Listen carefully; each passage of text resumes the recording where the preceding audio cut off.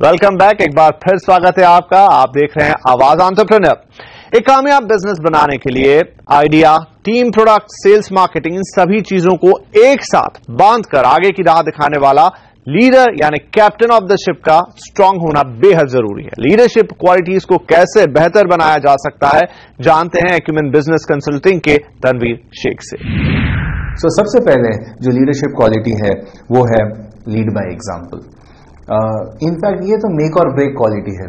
अगर आप जो है आगे से लीडिंग फ्रॉम फ्रंट नहीं करें, या आप खुद एक मिसाल नहीं कायम करें तो आपके जो एम्प्लॉयज़ हैं, वो कभी फॉलो नहीं करेंगे। आप ये नहीं बुलाएँगे, अरे भाई, इधर आओ, ये ऐसा कर दो। अरे, ऐसे नहीं किया? क्यों नहीं किया? मैं होता तो ऐसे करता।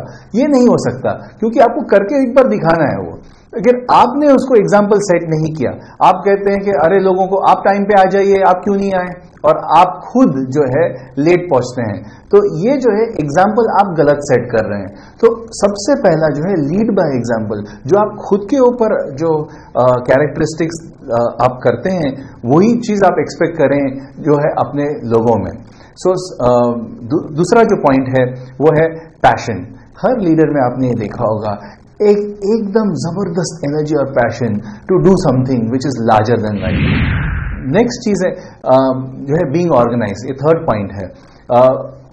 सबसे बड़ा बीमारी आज की तारीख में अगर आप देखें तो ये होती है बींग अनऑर्गेनाइज इनफैक्ट मैं अपने लाइफ में खुद ही कई बार कई मुश्किलें से गुजरा हूँ क्योंकि मैंने ऑर्गेनाइज अपने आप को सही नहीं रखा। एज अ बिज़नेस पर्सन अगर आपने खुद को ऑर्गेनाइज नहीं किया तो आप अपनी ऑर्गेनाइजेशन को कैसे ऑर्गेनाइज करेंगे? तो आप ये रिस्क ले ही नहीं सकते कि आप खुद को अनऑर्गेनाइज रखें। आपके टेबल पे कितना क्लटर होता है, अभी देख लीजिए, उसके हिसाब से आपको समझ में आएगा कि आप ऑर्गेनाइज हो या नहीं।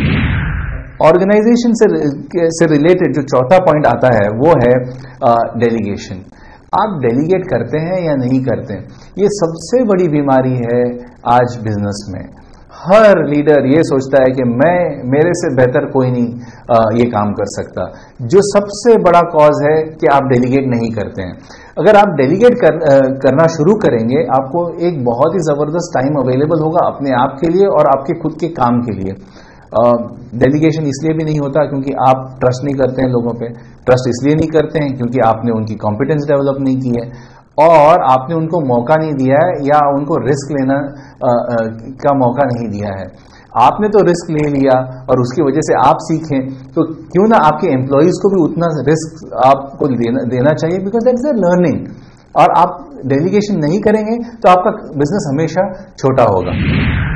ओनरशिप लेना रिस्पॉन्सिबिलिटी लेना और रिस्पॉन्सिबिलिटी को ड्राइव करना, ये दोनों चीज़ इंपॉर्टेंट है। क्योंकि आप ओनरशिप लेना चालू करेंगे और जिस तरह से आप ओनरशिप बताते हैं, उसी तरह आपके एम्प्लॉयज़ भी ओनरशिप लेंगे उनके काम में। छठे नंबर पे है all great leaders communicate very effectively now communication doesn't mean very good language skills language तो एक फॉर्म ऑफ़ कम्युनिकेशन हो जाता है। लेकिन जो भी लैंग्वेज यूज़ करें, हर गुड लीडर जो है, इस तरह से कम्युनिकेट करता है कि दिल को छू जाए बात को। और आप वो कर सकते हैं अगर आपने उस पर्सन में एक larger than what he is doing उसका पर्पस बता दिया। एक लार्जर पर्पज से काम करना वो क्यों कर रहे हैं जो कर रहे हैं आपके साथ? वो अगर उन, उन, उन्हें आ, आपने उजागर कर दिया आ, तो उससे उसकी जो मोटिवेशन है वो एक डिफरेंट लेवल की हो जाएगी। नो योर पीपल अक्सर मैं देखा हूँ आंट्रप्रनर्स बिजनेसमैन अमुक लोगों के साथ क्लोज होंगे या उनकी लॉयल्टी के वजह से उनको स्पेसिफिक काम देंगे या उनसे सुनेंगे उनकी बातें सुनेंगे। लेकिन आपको पता ही नहीं है उनकी लाइफ में क्या हो रहा है। आपको ये पता ही नहीं है उनके चैलेंजेस क्या है। आपको ये पता ही नहीं है वो किस तरह ट्रैवल करके आपके ऑफ़िस तक आते हैं। आपको ये पता ही नहीं है उनके लाइफ में चैलेंजेस क्या क्या हो रहे हैं और उसको किस तरह वो टैकल कर रहे हैं। आप सिर्फ़ एक ही एजेंडा के साथ रहोगे तो आप जो है एक पोजीशन से बात करें, इंसान या पर्सन से नहीं बात कर रहे हैं। तो एम्प्लॉयज़ को अगर आप समझना नहीं चाहेंगे या जो भी रीजन की वजह से आप उसको टाइम नहीं दे पा रहे हैं तो ये जो है सबसे बड़ी लीडरशिप क्या बोलते हैं बैड क्वालिटी है। तो अगर आप एम्प्लॉय की अंडरस्टैंडिंग बेटर करें तो ये one of the very critical leadership quality है।